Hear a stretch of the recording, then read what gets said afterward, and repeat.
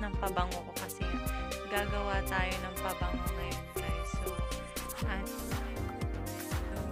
ah, talagang napakamura dito yung mga ingredients ng pabango, sabon, lotion, lip tint, ayan, andito na lahat yung mga pampaganda, yung mga mahilig magkulorete dyan. So, ang dami-dami dito guys. So, ayan. Makakamura kayo dito. Shout out dyan sa mga maraming book sa kilikili. Ayan, pwede yan. Diba guys? So, talagang pag pumunta kayo dito, makakapag-isip kang magnegosyo eh. Sa mga mahilig dyan magnegosyo, ayan. Kasi dito yung pabango. Ayan, may gawa na rin silang pabango. Sila na ang nagtitimpla. Ikaw na lang magsasalin dun sa bote. So, sa kanila ka rin naman bibili ng bote talaga ang bote nila dito. Ayan, yung mga lotion. Ikaw na lang din ang magtitimpla niyan.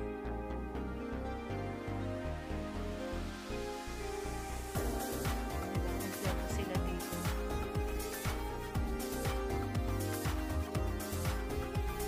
Yan, mga lipstick.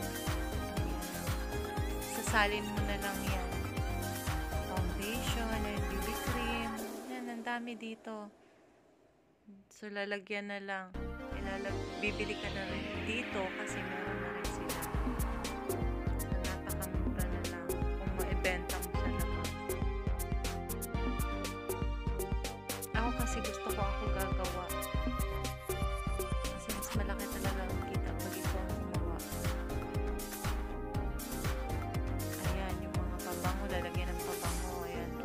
275, 10 piraso na yan.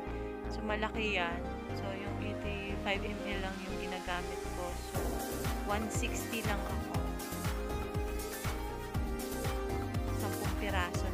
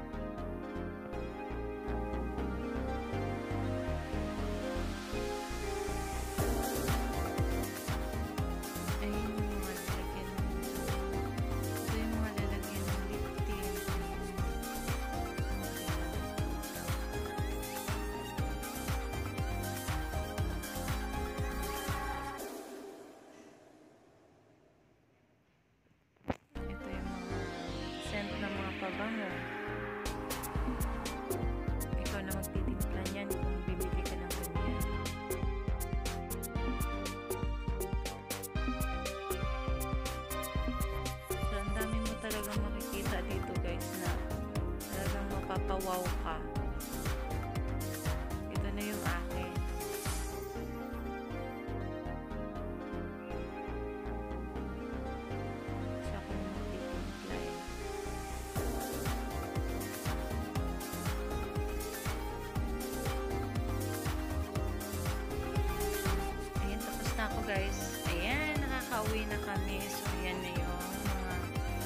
Nabili ko. Oh, ako na magtimpla niyan.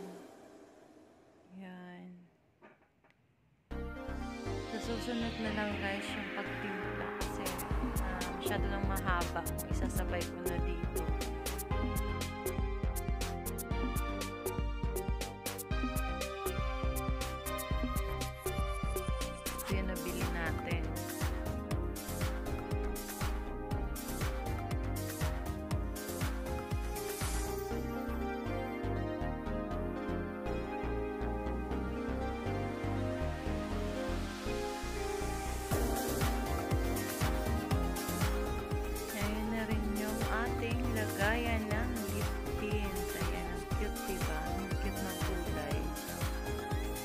Try ko lang na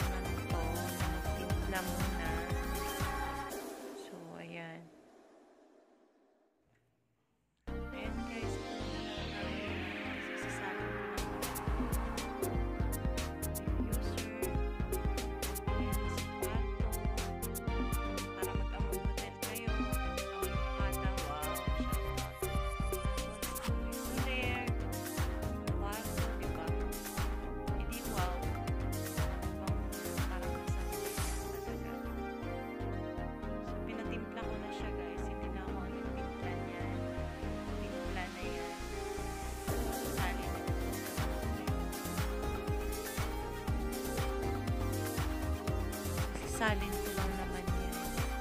Madali lang gawin kasi magsasalin lang ako. Mas timpla na siya. Mas maganda lang naman talaga yung ikaw magtimpla kasi ang dami mong tira. Diba? Marami kang magagawa to. Ito apat lang. Pero okay na rin siya kasi kalahati na rin yung kita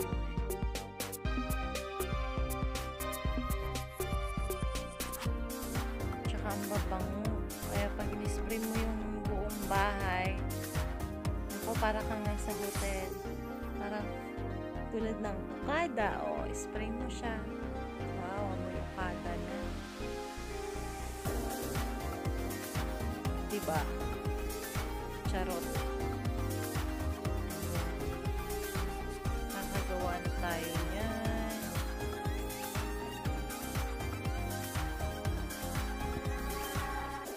Naman ang lalagyan eh.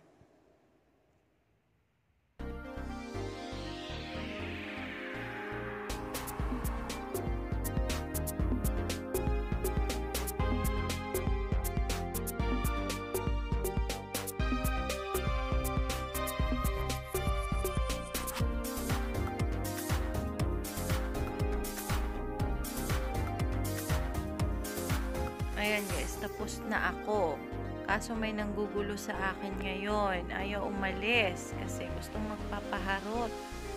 Naman siya. Ayaw umalis. Hinigaan niya. Hmm.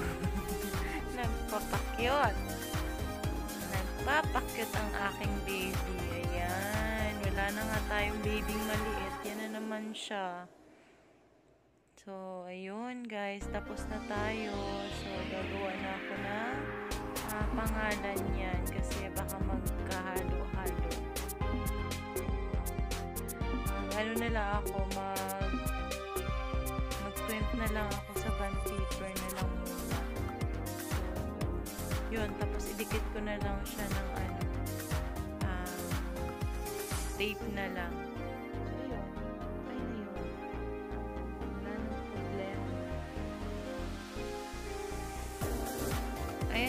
Guys, nagawa ko rin yung ah, ano, car diffuser din yan guys. Pabango sa sasakyan. So, mabenta yan. Sobra. Ang bango-bango niya talaga. Pwede rin sa bahay. Yun, pabango ko rin. So, susunod ko na lang ipakita kung paano ko siya tinimpla guys kasi ngayon ah, hindi na kaya.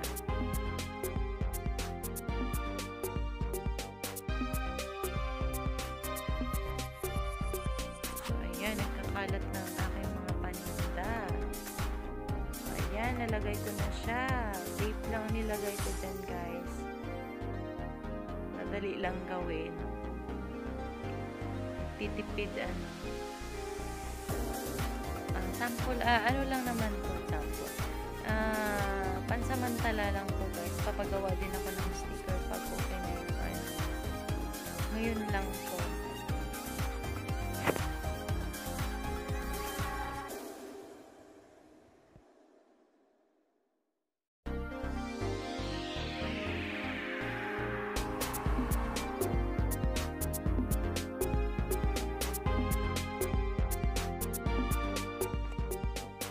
Ayan guys, ginunting-gunting ko lang at saka dinikit mo. Simple lang yan. So, tsagaan lang talaga. So, sa mga nanonood dyan, sa mga gustong magnegosyo, go lang tayo. So, sa umpisa, mahirap. Talagang wala namang madaling negosyo.